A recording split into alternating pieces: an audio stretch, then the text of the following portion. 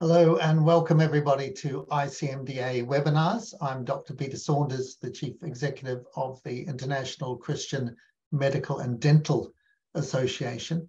And uh, ICMDA brings together over 80 national associations of Christian doctors and dentists around the world, representing probably about 60,000 health professionals altogether.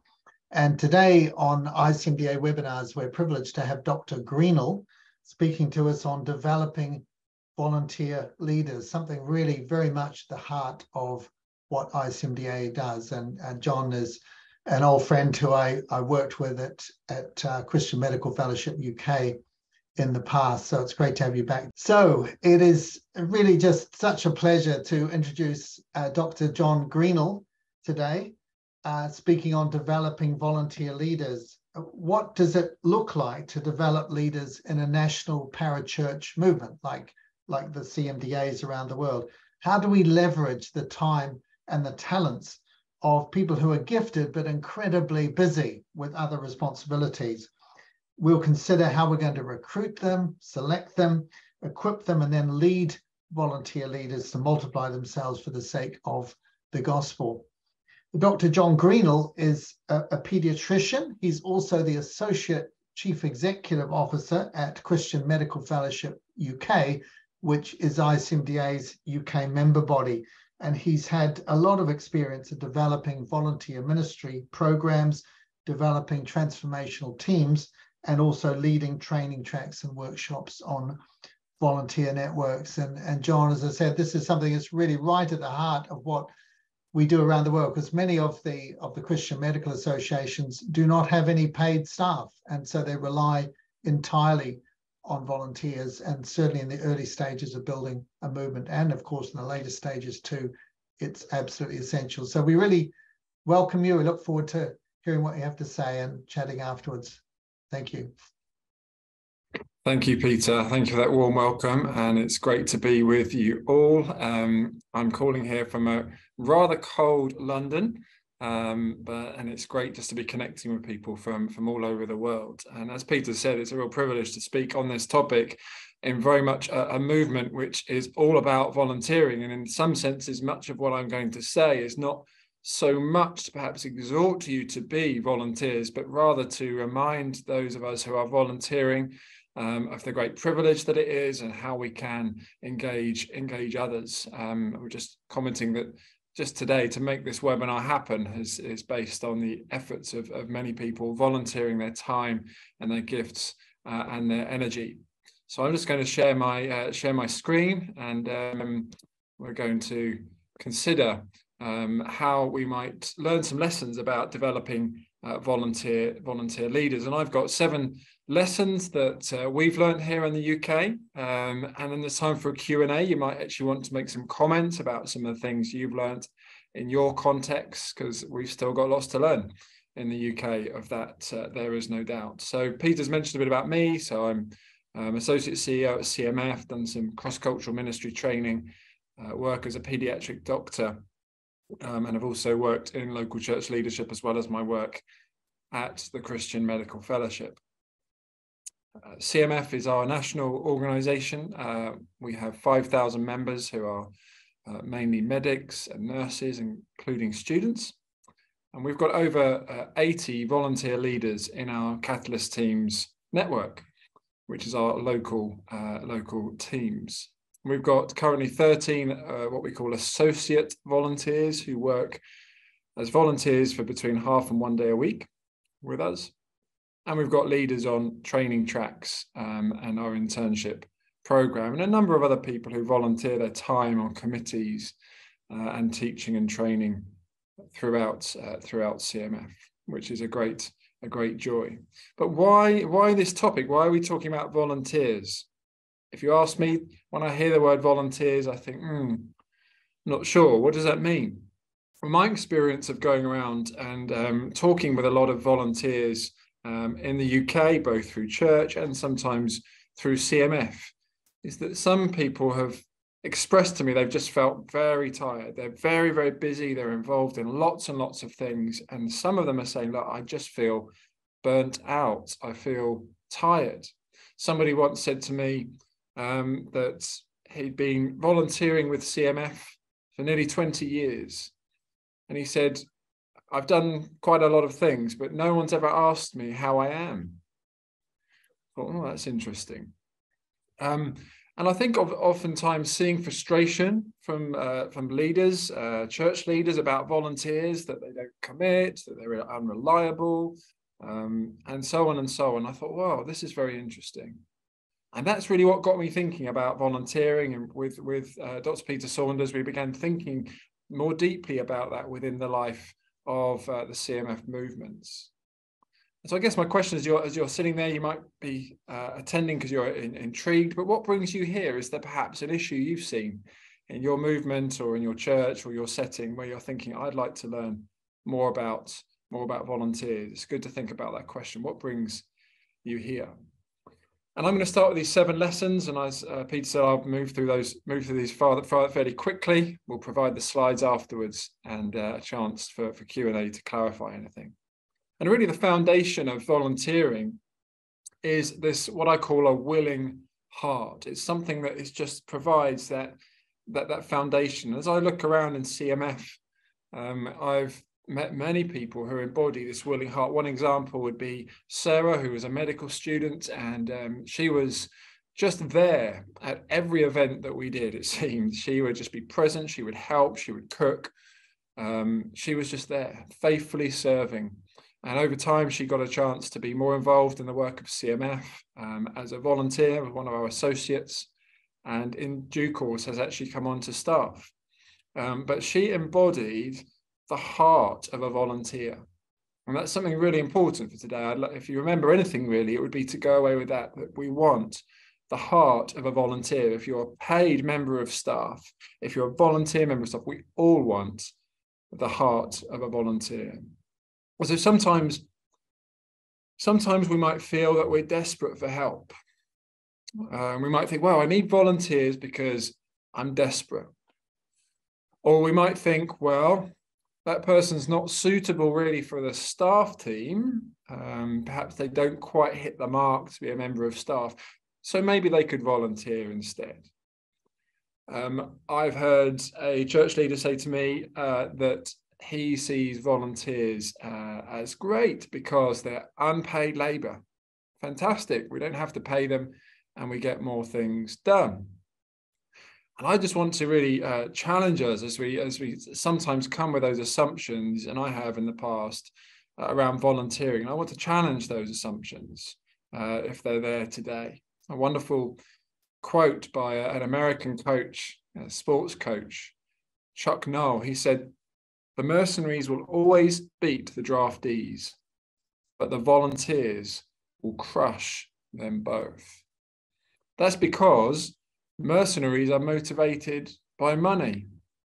They're paid, they do the job, and they go home. Draftees are motivated by fear.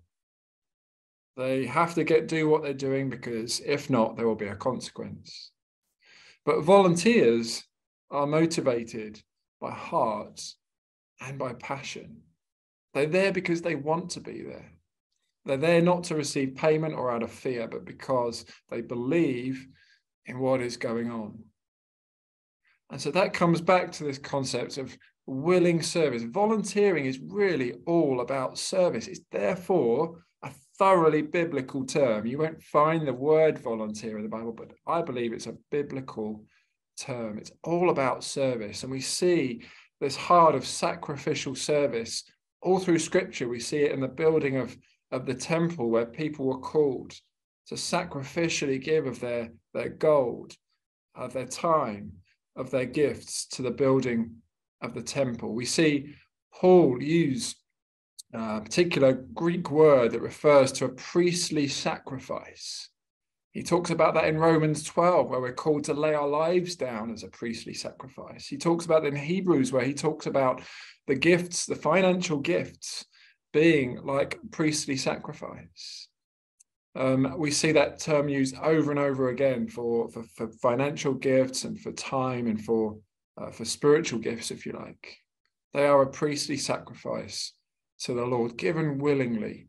And of course, as Christians, that is very the very foundation of our faith is that the Lord Jesus Christ has come and he served us willingly, laid down his life. And because of what he's done for us, we get to serve him back as an expression of thanks to him. And so, thinking about those principles, I would argue that we devalue our ministry if we're begging for volunteers to join us. If we say we're desperate, um, if we say, oh, we just see them as unpaid labor, because actually it is a wonderful privilege for people to serve God with their lives. People are looking, we are all looking for a way of thanking God, not because we have to, but because we get to. And sometimes people will come to your ministry, and there is a wonderful opportunity for them to thank God with their lives, and we get to help them to do that. And so, volunteering might be described as an act of, of privileged, willing, and sacrificial service to God in response to what He has done for us through Christ.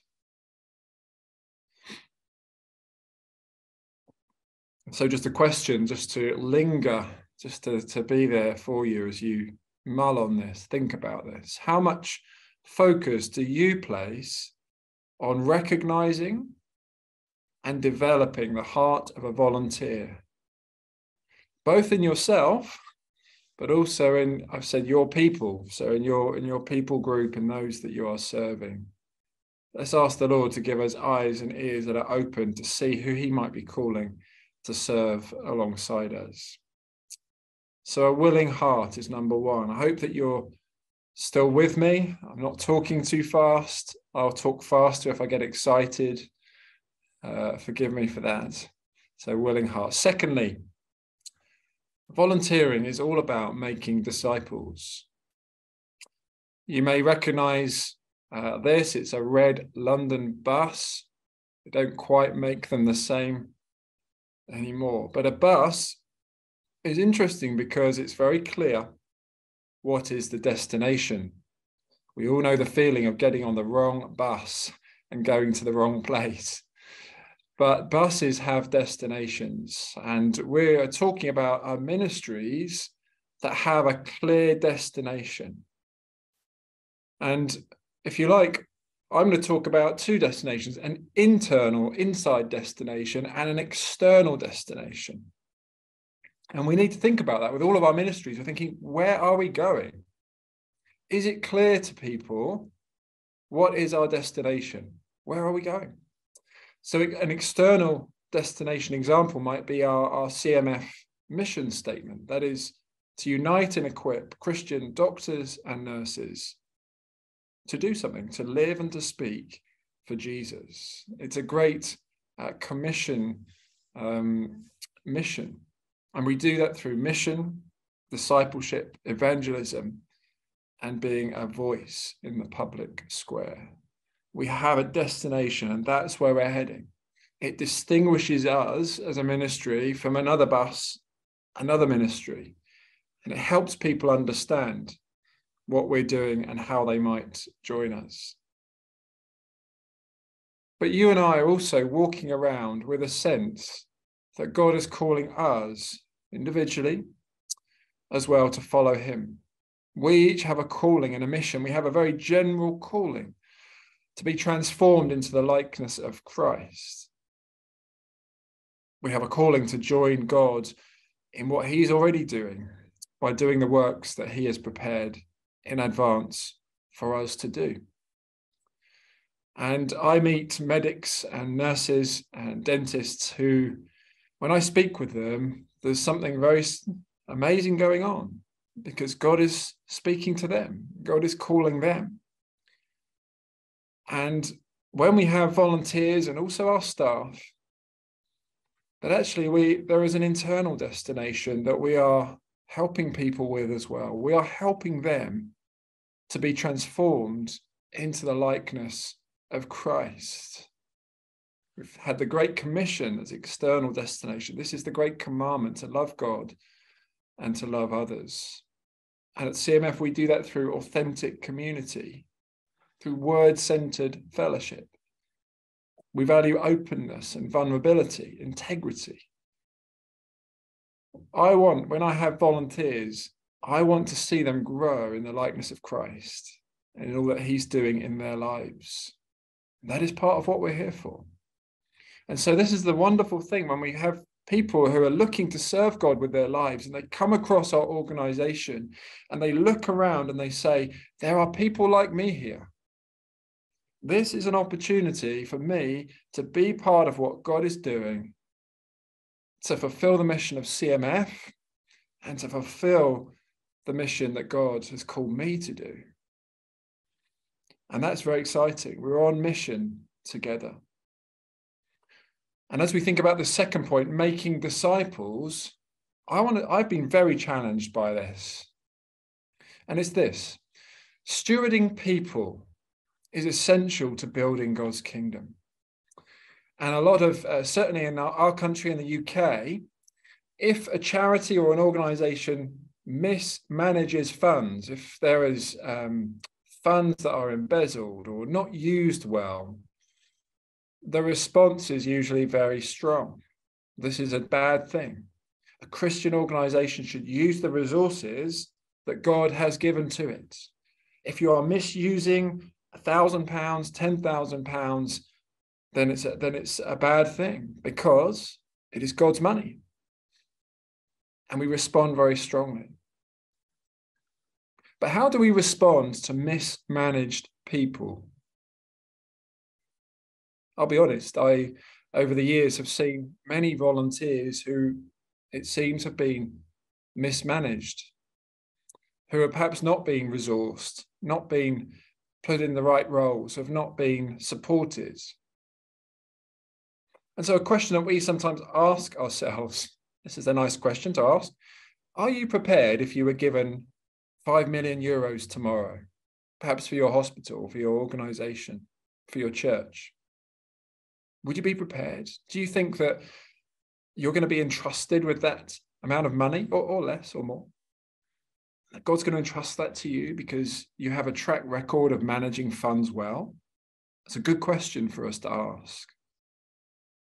But I want to ask us this Are you prepared if you were given 10 amazing volunteers? Or let's let's let's count that down a bit. Let's do a bit of bartering, um, Abraham style. What if you were given one amazing volunteer? Are you prepared to manage them well? And this is really this what this webinar is about, and what a lot of our volunteer training is about is saying we want to be well placed so that if God does raise up volunteers, that we will be a place where they are managed well to the glory of God. So, do you have an internal as well as an external destination for your ministry? Is it clear where you're going, both externally, but also in how you're developing your people? And how is your stewardship of volunteers? How, how are you looking after the volunteers that you have? And if you're faithful with them, do you think that you'll be ready for more? So, making disciples, that's our second, our second one. Thirdly, gospel partnerships. Gospel partnerships. We are here uh, to work together for the gospel. And we see this, this is a, a phrase from Dr. Peter Saunders. uh, we are here talking about the priesthood of all believers, not just of some believers. Sometimes it's possible to say, well, um, we're doing the ministry. Um, I'm in leadership here at CMF UK, uh, and this is what God has called me to do. And the message can be to people in the UK please, can you help us? We've got the call on our lives. This is what God's calling us. Please help us to fulfill our ministry. Sometimes it can be a little bit different. Sometimes we can say the opposite. We can say, well, um, we don't have a very clear sense of, of, of, calling, but God is calling you. And uh, this is a place where you can achieve all that God has called you to do. You can, this is the ultimate place to realize yourself and to be all that God has made you to be. And neither of those approaches are 100% wrong. There is some elements of truth that those things can happen. We do need to have a sense of direction and calling as a ministry. We are there to help with that internal destination. But actually, this is about volunteers being capable partners.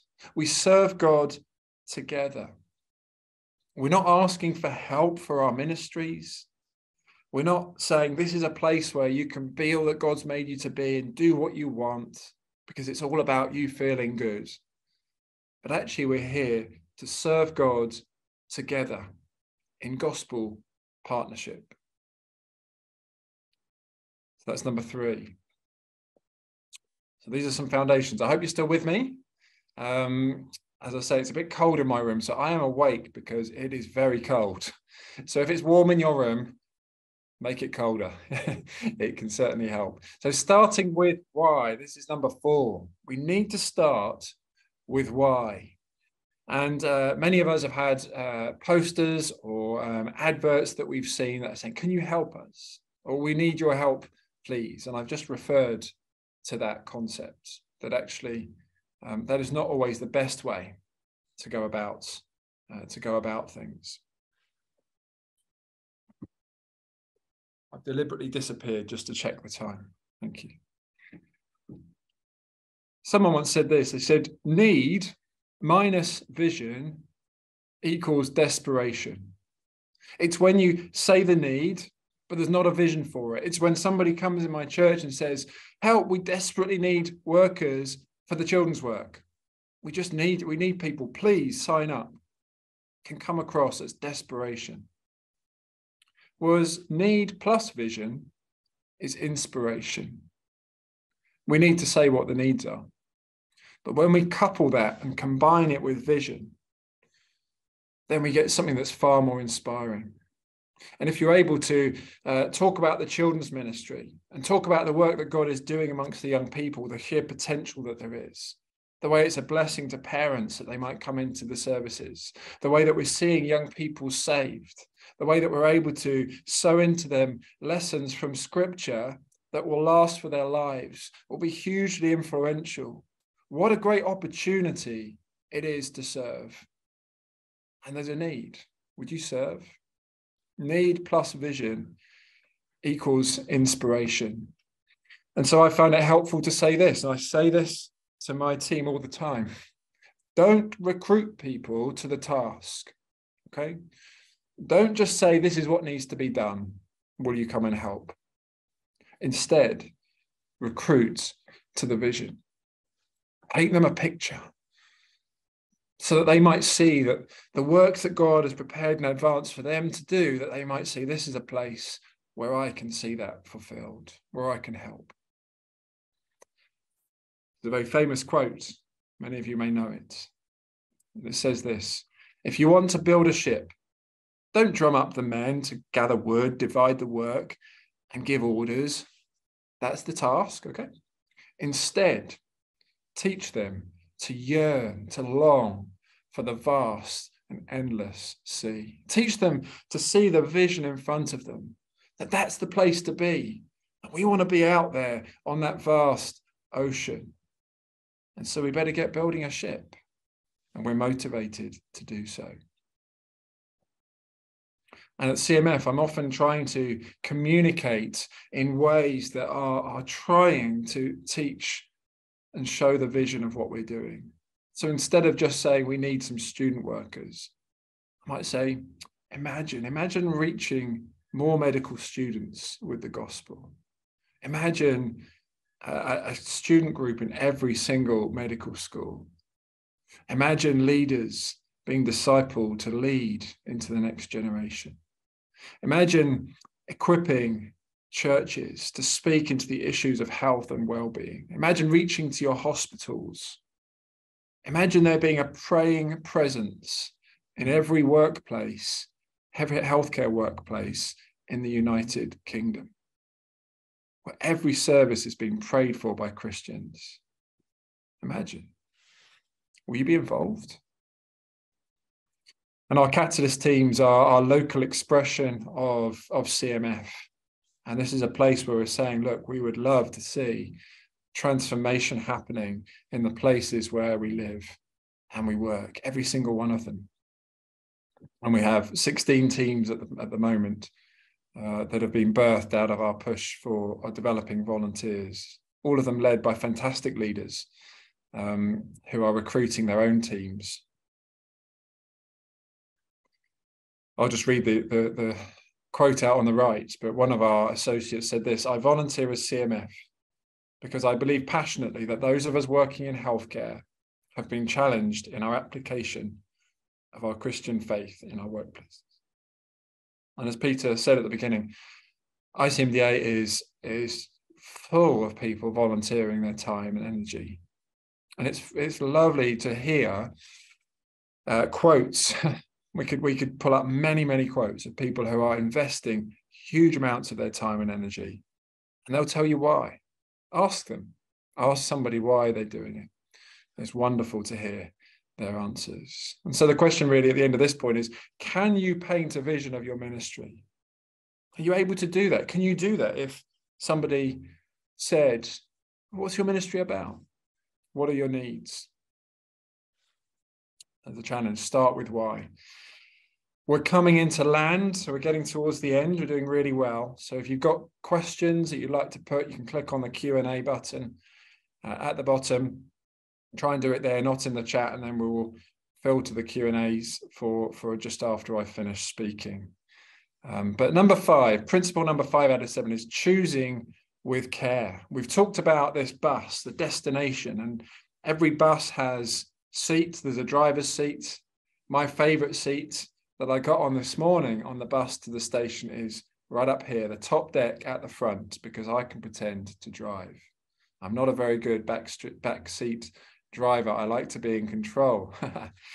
um, but buses uh, buses show that there are different seats. There are different places, and in our in our organisations and our, the what what we're involved in, there are many different roles and places. And it's really important that we are not just taking anybody. We're not just being saying, well, we're desperate for people and maybe you should just come in. And our role as leaders, our role as we particularly look to develop volunteer leaders, is to make sure we've got the right people in the right seats. And that means listening carefully. It means having our ears open.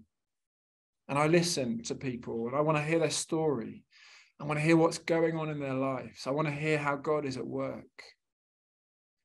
And I'm going to be ready to say, maybe this isn't the right place for you to volunteer at the moment. Maybe it's later. Maybe there's another organization I will point you to. Because in my experience, that saves a lot of time and heartache and trouble. Because if you have the wrong person in the wrong role, it, I think you'll we all know this. It can cause challenges for that person, for the organization as well. We want to help people discern where God is calling them. Is it right for them? Is it right for us at CMF? And so I just ask some questions when we explore membership of a catalyst team. I talk about faith and heart and commitment. Is this really going to work? They may love the ministry, but they may not be able to give any time realistically. And I want to help them to discern that right at the beginning, if possible. And so my question to you there would be Are you listening to people? Are we really listening to what their heart is and what they can manage? Or are we a bit too busy just being tunnel visioned about our ministry to really listen? But we do need to have the courage as well to ask people. We have, we serve, as I said, around 5,000 medics and medical students, and they are busy people. They're really busy. And people say to me, surely medics aren't going to do anything for you at CMF. They're really busy already. But I've found that there is dignity in asking people if I just think, well, they're too busy, they'll never say yes, I may be wrong. Some of my most effective volunteers are the busiest people I know. And I've asked them. I've asked them, and I've sometimes asked them again. And I ask people who I'm looking for people who are faithful, who are available, who are self motivated, they initiate things. Always looking for people who are teachable. And teachable is a combination of humility and integrity. We want people with that character. And we want people who are hungry, uh, who are passionate to grow spiritually and personally. And I credit to Tim Elmore, who's an American uh, writer on leadership for that faith acronym. We sometimes short it to faithful, available, and teachable fat people. That's what we're asking God, and we're praying. And my experience is that when I pray, things happen. Actually, when I pray about a team or an area where we need volunteers, God often answers. It's amazing. And I need to pray more um, because He raises people up. But we're looking, as I say, we're, we're talking about choosing with care, making sure that we've got the right people in the right seats. And so we look at these six C's. Certainly that translates for English. I don't know for our Spanish and Russian translators whether it works out as six C's at all. Sorry about that. But we have, uh, I'm not going to go through in detail because we're, we're almost out of time. But we have calling. Are they called to the ministry? Do they have a Christian testimony? What's their character? Is their chemistry? Do they fit with the team, with our mission? Do they have the competence? Call it the skills, the gifts. They may have all of the above things, but this is just the wrong role for them. And I'm looking for communication because communication is so important. Communication of expectations, communication when we're able to say, no, I can't do that. Six C's are really helpful for us in choosing with care. I'll just skip those. So I, I just wonder as we as we go away, you might want to think of a challenge you faced with a volunteer. And perhaps if you just trace that back, sometimes I find that something actually was not quite right with the choosing process. Perhaps it was a character issue, perhaps it was a competence issue. Are they on the right bus? Let alone being in the right seat. Have a think about that. And then just we finish, I'm just going to finish with the last two points are about investing. And we think about head, heart, and hands. We want to grow our volunteers, and we invite our volunteers to come to our staff training. Uh, and I do separate modules with our volunteers. We want them to grow in their knowledge. We want them to grow in their hearts as disciples, and we want them to grow in their skills. I want to teach them how to speak well, how to write well, how to lead a meeting, and so on depending on their role. And we have a number of different tracks, and the heart of a lot of our volunteer work is developing training so that we might train people. And we do that in the UK, and I know that there are fantastic training tracks in ICMDA. And if you're volunteering or you have volunteers, I would thoroughly recommend that you send people slash encourage them to go on training tracks to equip them uh, for the work that they're doing. So we need to invest in people. And then finally, and I will leave you with this, is we are called to multiply through a few people. You might think, oh, it's you know, in the UK you've got lots and lots of volunteers. How wonderful. And I would say, yeah, we have we do have some volunteers. I'm grateful for every one of them. But actually, I would say we are to invest in fewer people. And I believe an effective volunteer ministry is when you actually invest particularly in volunteer leaders. And they, when I talk about volunteer leaders, they are leaders who will in turn lead other volunteers. You may know many examples of that. We see this within ICMDA all the time uh, as how people are leading the training tracks as volunteers. And we want to invest in a few people. Timothy, 2 Timothy 2 2, the classic passing on uh, to faithful men who will teach others, that four, four generations of faithful teaching. And so when we're looking for volunteers, it's easy to think, oh, I need lots and lots. I would encourage you to invest and look for a very small number. Don't just take anybody, uh, but focus on finding enablers, those people who, who understand it's not just about what they're doing, but their role is to help others to get that vision to be disciples who make disciples. And I have found that when I, I've got I've got a handful of those, less than 10, but they make all the difference because they will then go on and lead 10 other volunteers themselves quite easily. They multiply. And so we need to invest uh, in these people. We need to invest relationally. I have my 3, 12, and 72, trying to be a bit like Jesus in that regard. A very small team of three staff. I've got 12 core volunteer leaders. Um, and then I've got around 70 odd above that actually, who are, are led by those 12 particularly. And we use a, a mixture of formal and informal opportunities to do that. My last slide is just some resources, and we'll share some of these uh, with you. Um, there's a volunteer training series that we're currently in our third iteration with a number from ICMDA wider family, and that training is available, which expands a lot on what I've just gone over very quickly over six sessions. And then there's some examples of our training that we have run at CMF, our, our team training, our conferences, and I just want to say a big thank you to uh, Al and Wendy Newell um, and their team. Uh, it was a few years ago that uh, Dr. Peter Saunders said to me that we should go and hear what this organization had to say about volunteer ministry. And I confess I wasn't keen. I confess I thought I knew what I was doing. But I'm so grateful to the Lord for them and for, for their teaching, shaping much of what I've learned and applied. And we do need to can apply this in our context. It will be different in our cultures. But I trust that some of those principles uh, are helpful to you um, in thinking about how you might develop uh, your volunteer ministry and your volunteer leaders. God bless you. Uh, I thank God for each and every one of you who is volunteering so faithfully. And I trust it's been an encouragement to you to be reminded of why you do what you do and that it's to the glory of God and for the extension of his kingdom. Thank you. Thanks very much, John. We've been listening to Dr. John Greenall, the Associate CEO of Christian Medical Fellowship UK, speaking on the subject of developing volunteer leaders. And we've now got some time for question and answer.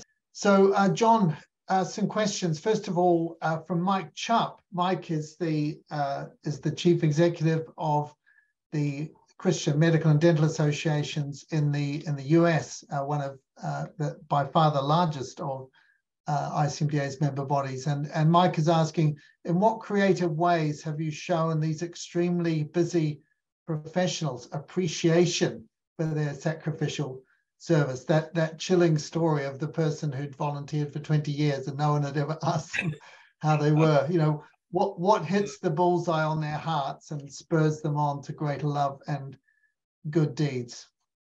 Oh, Mike, that's a great question. Thank you. And actually, I realized I didn't I didn't talk about appreciation, um, and I think that's very much a core part of our what I call our investment in, in our volunteers. Um, and we, we like to say here that there are a number of ways to pay volunteers, um, because actually um, it's not just about paying people financially; that's staff as well but yeah, it, showing appreciation and thanks um, is so important. So just from the very the very basic level of um, thanking people in my regular communications, um, I often seek to to thank God for them and, and, modeling Paul's prayers of thanking God for their service and their their heart and uh, giving thanks back to Him.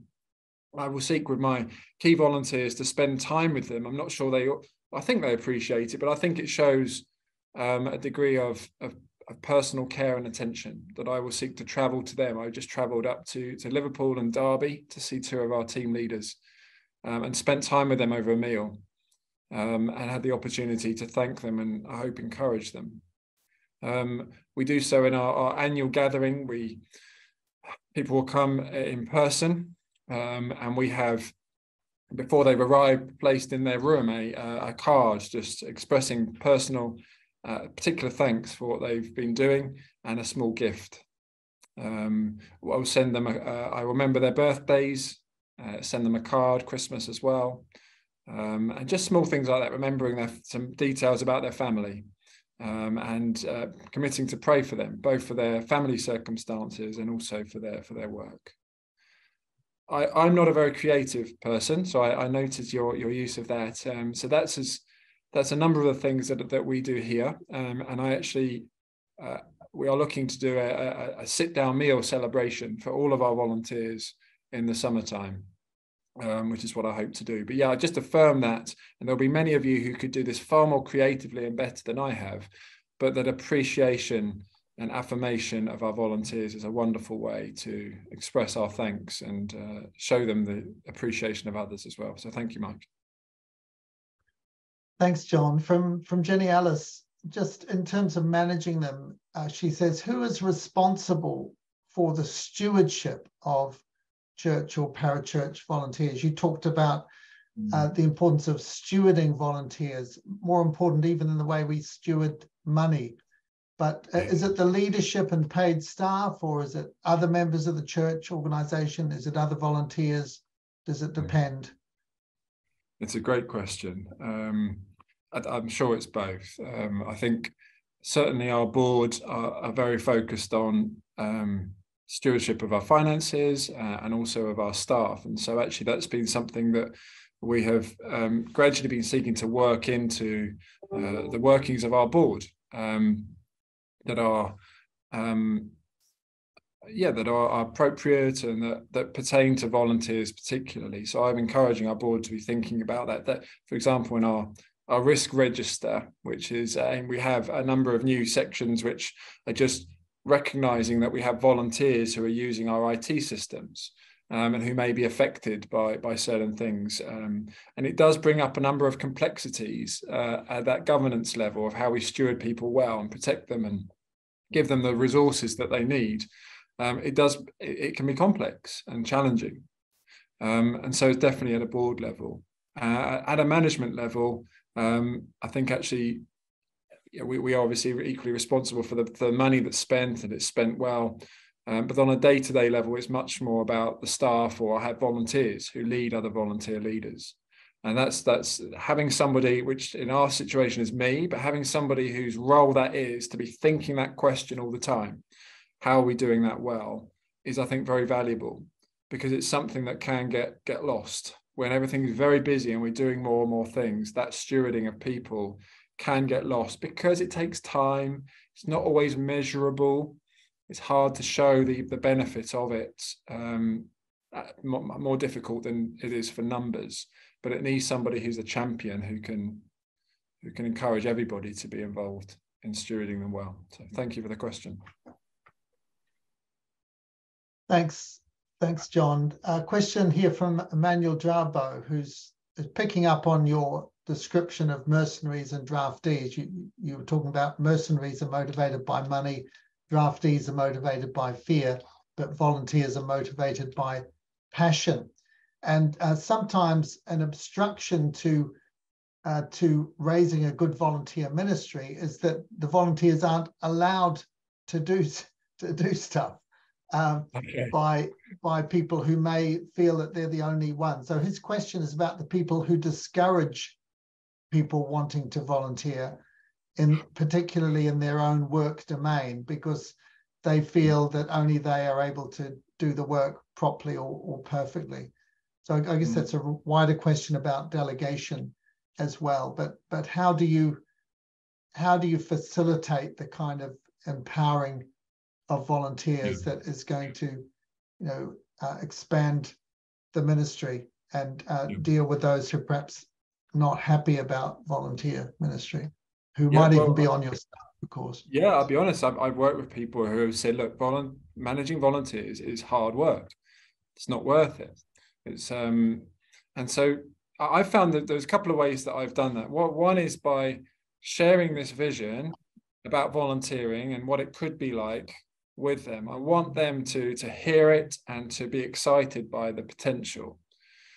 And then we'll also do some exercises because I want to hear, understand that better. And so we'll, we'll do an exercise, for example, what do we expect from our volunteers? Uh, and then I will ask people, you know, what's been your experience? And try and understand where that problem has come from. Is it because they've lacked a vision for it? Is it because they've written them off really straight away? Is it because they're not resourced very well? Is it because our lines of communication are poor? And I would equally be asking um, the uh, volunteers themselves, what do you need from staff? Uh, and hearing what it is that they appreciate. And that's things like appreciation. And they want to hear clear communication, things like that. So I, I found that just spending time unpicking these issues and try you know trying to understand better where people's reluctance comes from but ultimately as we shape the culture of an organization i want cmf to be a place where volunteers are welcomed. And if a new uh, staff member comes on board, it's part of their, we've rewritten role descriptions to include that your ministry is about working through volunteers. And we want you to come in recognizing that is part of your role is to work with and through volunteers. Are you okay with that? Because that's what we do here. That's our culture. So those are some of the things that we do, but it's a good question. And it happens in the UK. I think it happens everywhere. H Howard Lyons is asking, uh, is there any difference in the way you manage volunteers compared with how you manage paid staff? Mm. Uh, hmm. I, I guess in terms of expectations, tasks, accountability, deadlines, all of mm. all of those sorts of things. I think a lot of us feel reluctant to to uh, hold volunteers accountable because we feel whether we're not paying them, what right do we really have to to uh, ask them to make a big contribution? But um, mm. is there a difference in the way you manage staff and volunteers? So the main difference, I would say, is that there aren't many. Uh, a big difference is I ask for certain time commitment. So for a, uh, for a big leadership role, I will ask for two years. For um, a less sizable role, I will ask for one year minimum. And so we have a review. So I will review them every year formally, with a you know they will fill in some paperwork, and I will fill mine in. But at that point, there is that question: Do you feel able to continue? for another year.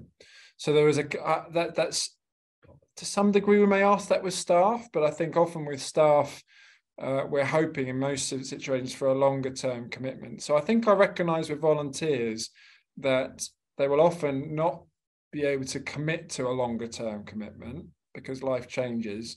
But actually, many of our volunteers do stay on if they feel it's the right place and they're well suited and being looked after.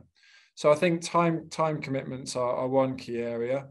Um, and clearly, we're not holding them accountable for um, the use of, of, financial resources because I would see that as a, a, staff as a staff role. They will they will be spending some money, like setting up conferences, but I'm not expecting them to oversee or report back about the financial aspects of what they're doing. But other than that, Howard, I, I, my, the bar is very high for me. Um, and I think a lot of people are very nervous about that because we're dealing with very busy people. And yeah, what right do I have? But I go right back to the agreement where the expectations are laid out very early on. And I ask people to make a, a, a high commitment for a period of time. And I manage them very similarly to staff, other than that. Yeah. Uh, you uh, came out, John, quite early with the, the Chuck Noll quote about um, the mercenaries and the and the draftees. The mercenaries will will beat the draftees, but the volunteers will uh, crush them both. Yeah. And it's a question here about how do you deal with instances of misconduct or underperformance of volunteers compared yeah. with employees who have contracts, salaries, HR procedures, and so on. Do you have contracts job descriptions, HR procedures, and so on that apply to volunteers? And, and how do those, if so, how do those differ from what you do with staff? Yeah, thank you for the question. Yeah, so when people come on board, there is a when they're brought on, they are um, obviously they will they will fill in application forms, but they will also sign things like our data protection policy, our doctrinal basis policy. So they're agreeing to abide by our, our doctrinal basis. Theologically, they're agreeing around our data protection. Um, they are agreeing to our, our code of, of conduct, safeguarding our safeguarding policy, um, which we updated last year.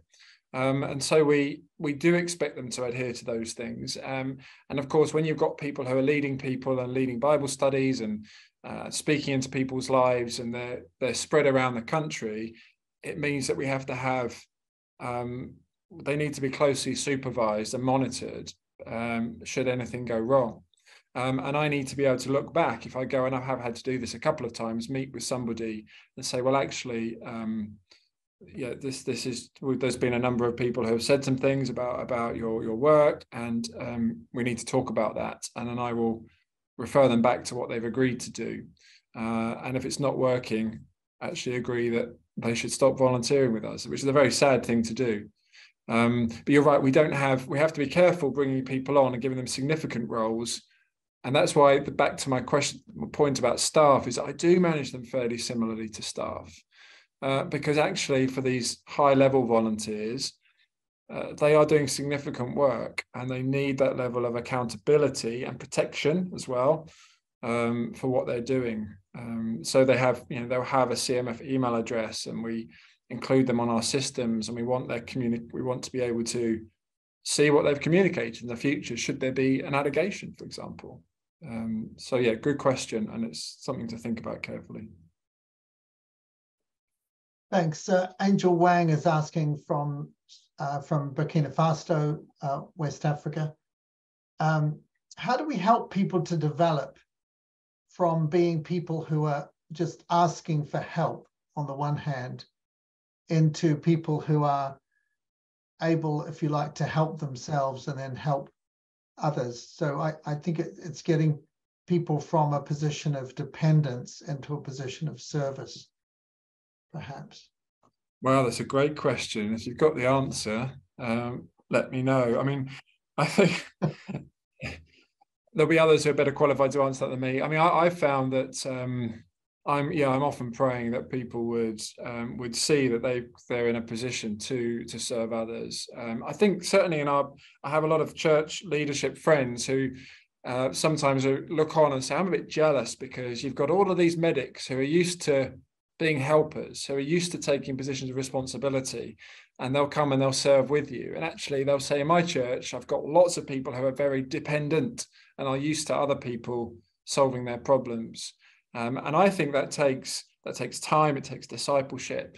It takes uh, calling people scripturally to maturity in Christ, um, and to then taking on the responsibilities um, that God is placing before them. And that that's everything from parenting to um, to service. Um, so this is a this is a maturity discipleship issue uh, uh, fundamentally.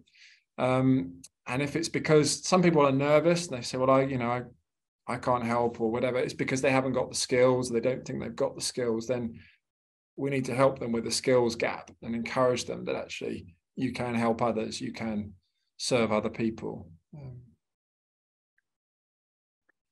John, you, you talked about, uh, used the analogy of the bus and, and saying you don't only need the right people on the bus and not too many of them, but they need to be sitting in the right seats on the bus as well doing doing roles that are, are suitable for their for their gifts and their passions and their and their their callings mm-hmm. and so on. I, I think a, a, big temptation in building a volunteer ministry is to say, well, what are our needs? This is what they are. Where's the person who can we put in that place without really tailoring the, the yeah. person, matching the person to the need. So just a, a, a bit of wisdom about um, how you go about getting the right people in the right places in your team? Yeah, thank you. Good question. Uh, and it and oftentimes we're not overrun with volunteers. You know, that we I think often many of us feel that we think, well, if I get one volunteer, I'll be you know be be fortunate.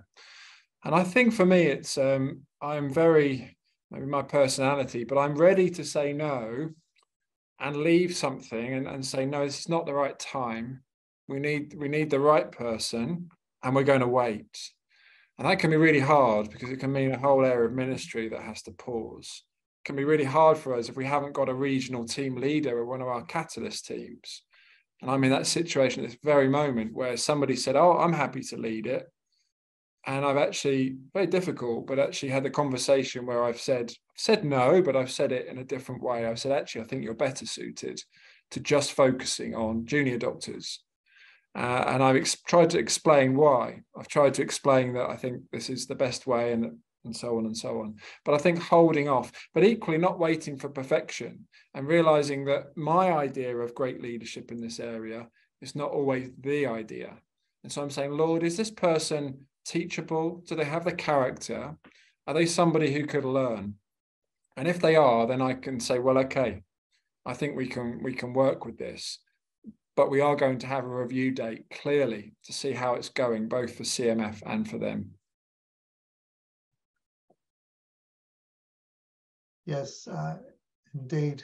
Uh, well, sadly, uh, John, we've run out of time. Uh, there's just been a couple of questions here. Yolanda Melendez is saying, can you send us an example of questions we can include in an application form? And we'll make sure in the letter we send out, we'll uh, we'll get one from John uh, that you can adapt for, for volunteer selection.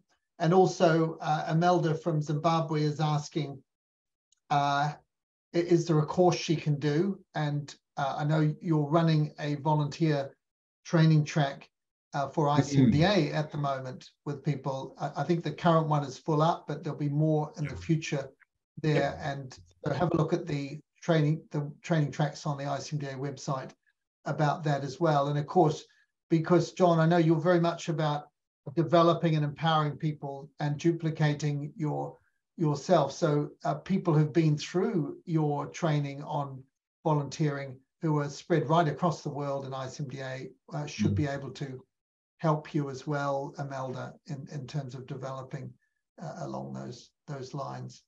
So, John, uh, thanks so much for for joining us. Uh, you're a busy person. We're we're really grateful to have your time and to learn from your experience and uh, teaching, and particularly example. Uh, just seeing what has happened in CMF has just been so incredibly encouraging. And, and I know that you have a real passion to, to see people grow and develop. And mm. uh, we're seeing the fruit of that. And uh, for all of you for coming along today and participating, for your questions, your, your comment, your involvement, do spread the word. We'll be writing tomorrow to all of you. We'll send you a link to the, the video, the YouTube uh, uh, connection and also a whole lot of resources that have been mentioned that you can make use of, and it will be up available on our website as well. So make use of all the past uh, webinars in your in your small groups. There's a lot of gold out there.